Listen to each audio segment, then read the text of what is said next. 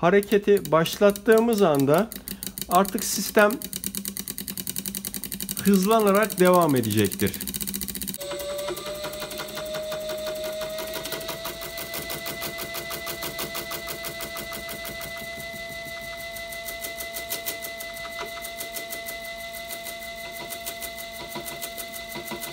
Evet, herhangi bir yerden ilk mıknatısımızı yerleştirmeye başlıyorum.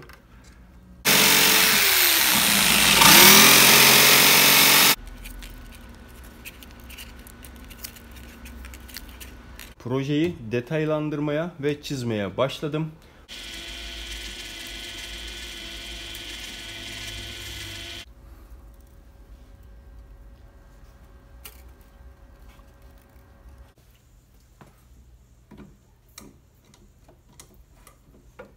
Bu motorun yapımı da yine kanalımda mevcut. Yapmak isteyen arkadaşlar bu projeyi de takip edebilirler.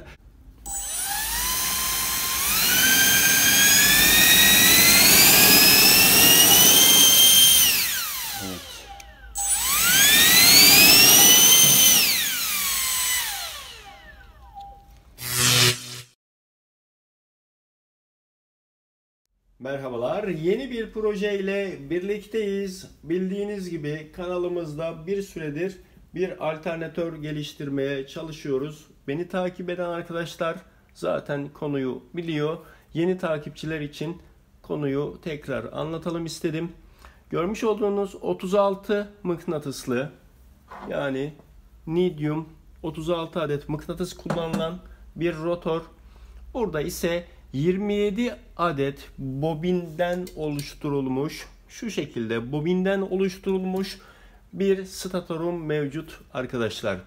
Bu projeyi neden oluşturduk? Neden ortaya çıkardık? Bu aslında bir alternatör. Yani rüzgar türbünü yapabileceğimiz, kendi elektriğimizi üretebileceğimiz güçlü bir alternatör.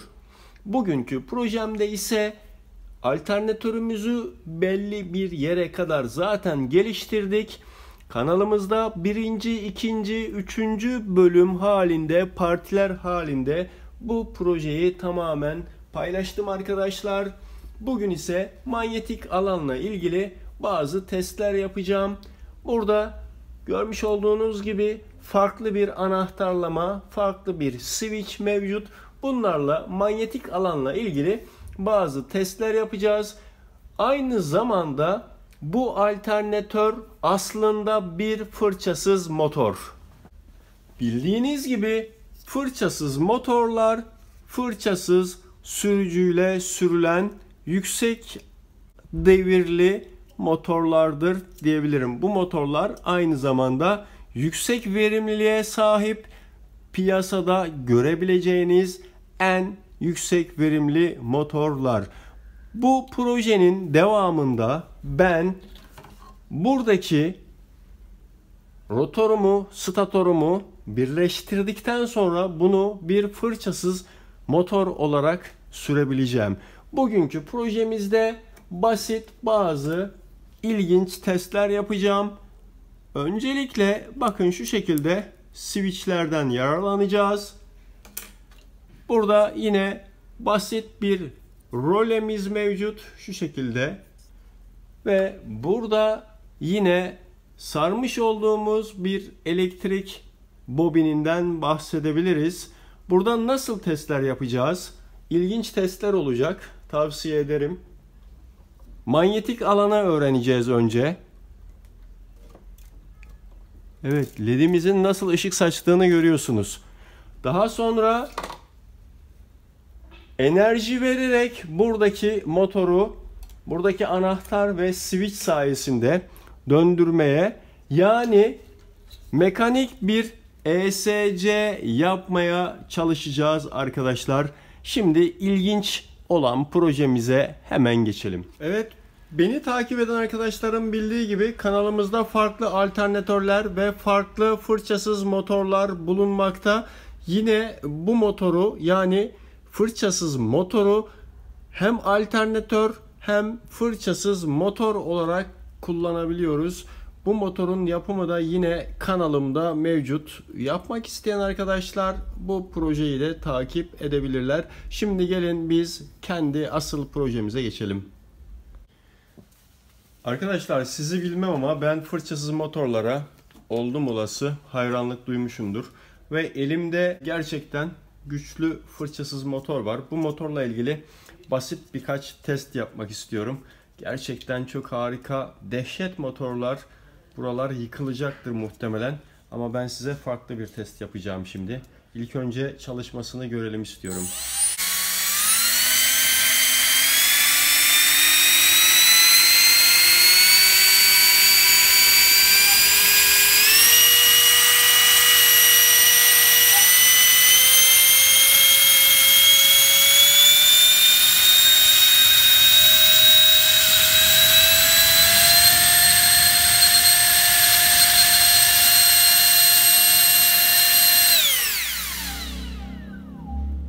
Yani itme gücünü tarif edemiyorum ama şu şekilde bir yöntem deneyeceğim.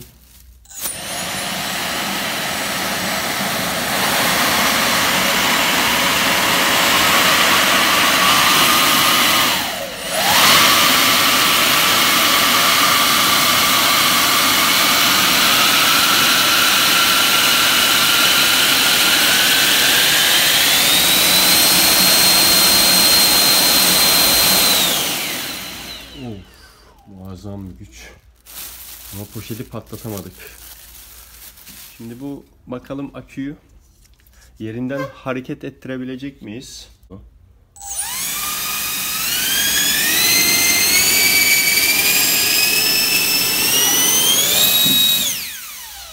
Evet. Yani bakın şu şekilde. Bakalım bunu hareket ettirebilecek miyiz?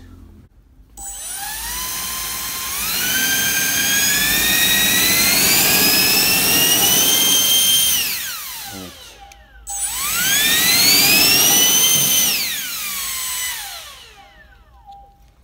Evet ikisini üst üste koydum. Basınç iki kat arttı.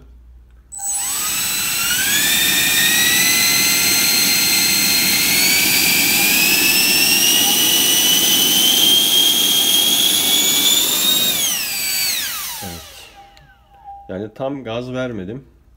Çeyrek gazda yaptı bunu. Evet şimdi gelin eee, biz projemize geçelim.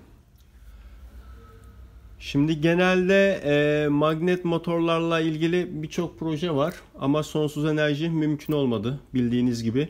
Yalnız sonsuz enerji ile ilgili ilginç çalışmalar var. Ben de bazı şeyleri e, projelerimi hazırlarken e, görüyorum ve dikkat ediyorum arkadaşlar. Bakın mıknatısların hareketini eğer senkronize bir şekilde yapabilirsek aslında manyetik motordan söz edilebilir mi diye ben de bazen düşüncelere dalmıyor diyebilirim. Bakın her şey aslında senkronizasyonla alakalı. Bakın mıknatısları eğer senkronize bir şekilde hareket ettirirsem buradaki milden almış olduğumuz hareketi buradaki mıknatıslara iletebilirsek kendi gücüyle bir sefer hareket ettirdiğimiz zaman kendi gücüyle şu kısmı da hareket ettirebilirsek belki manyetik motordan söz edebiliriz diye düşünüyorum. Bakın.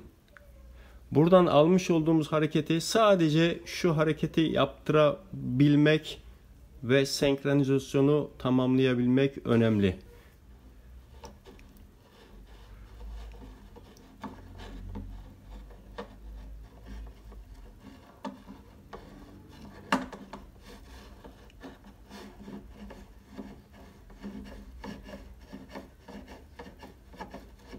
Evet, yakaladım senkronizasyonu.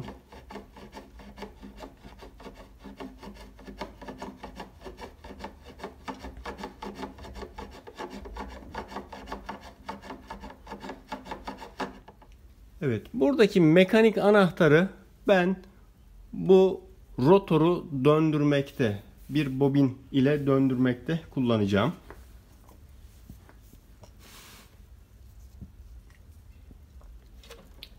Bakın çevirdiğimiz zaman burada elektrik akımını oluşturuyoruz biz. Şöyle daha iyi gözüksün.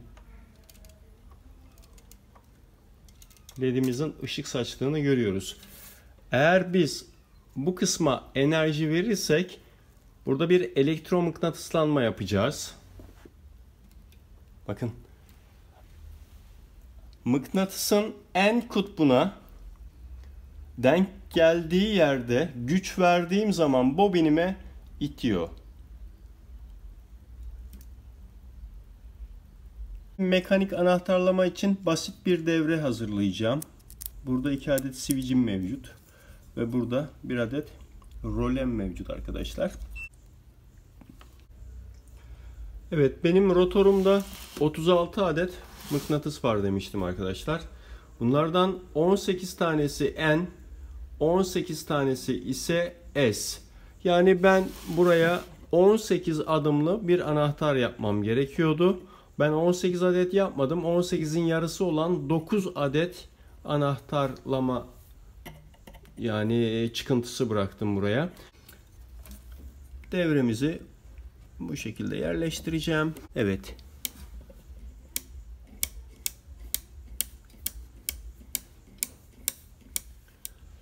Evet, bobinimi ben buraya uygun bir yere yerleştireceğim.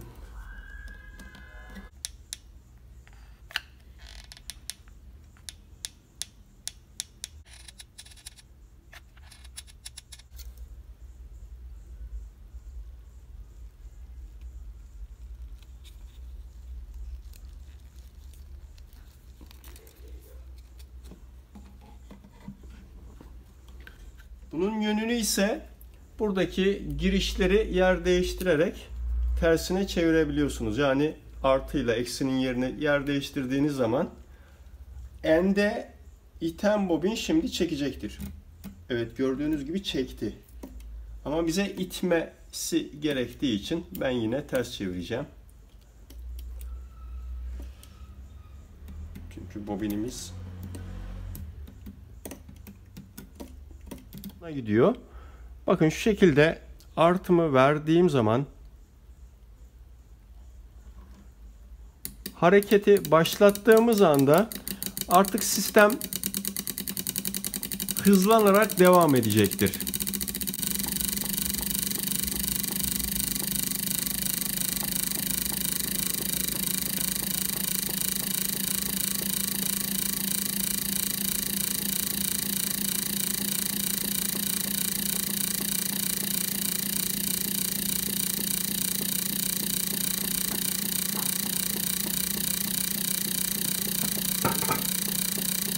Aslında burada yapmış olduğumuz yani şu elektronik ESC'yi biz burada mekanik olarak düzenledik diyebilirim.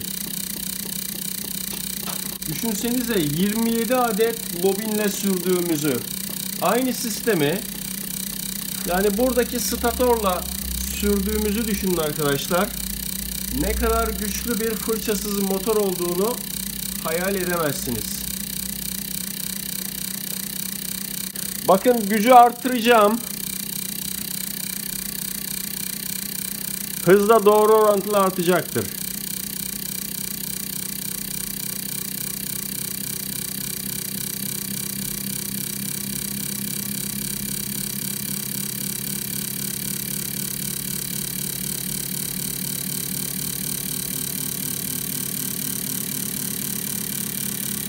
Artık rolemiz dayanmayacak. Roleden ateşler çıkmaya başladı. Biz hızı düşürelim.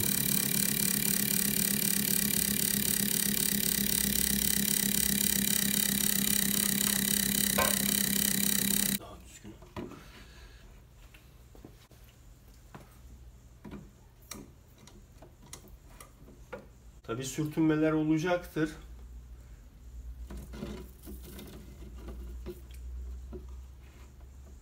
Daha gelişim aşamasında motorumuz tamamlanmadı. Evet, gerçek bir ESC ile testimize geçelim.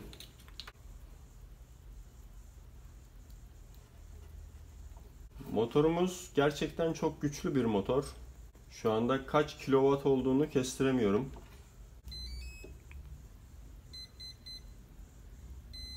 Evet motorumuzdan normal sinyalimizi aldık. Yavaşça güç vereceğim. Tabii ki fırlayabilir. Evet. Statora tepki veriyor. Evet dönecek. Evet dönecek.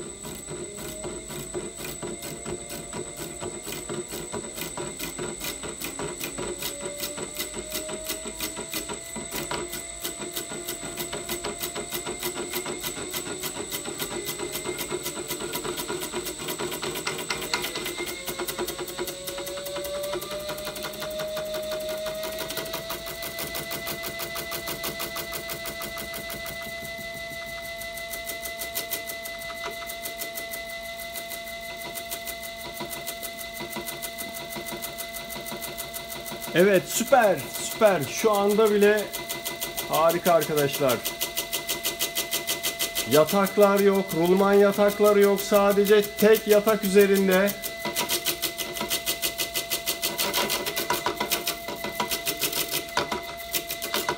Sürtünmeler var gördüğünüz gibi. Bunları da açtığımız zaman harika olacak.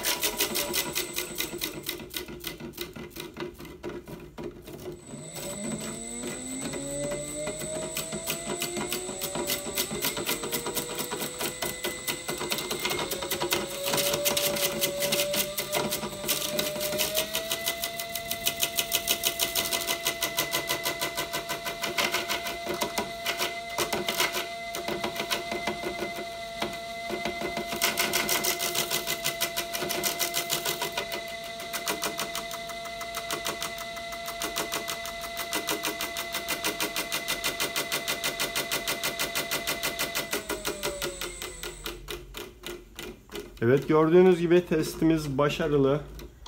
Bu tarz projeler için kanalıma abone olup bildirimleri açmanız yeterli. Tabii ki destek olmak isteyen arkadaşlar katıl ve süper teşekkür bölümünden bana desteklerini iletebilirler. Proje dediğim gibi gelişmeye açık. Umarım bir dahaki bölümde projenin nihai sonuçlarını görmüş olacağız. Tekrar görüşünceye dek hoşçakalın. Kendinize iyi bakın.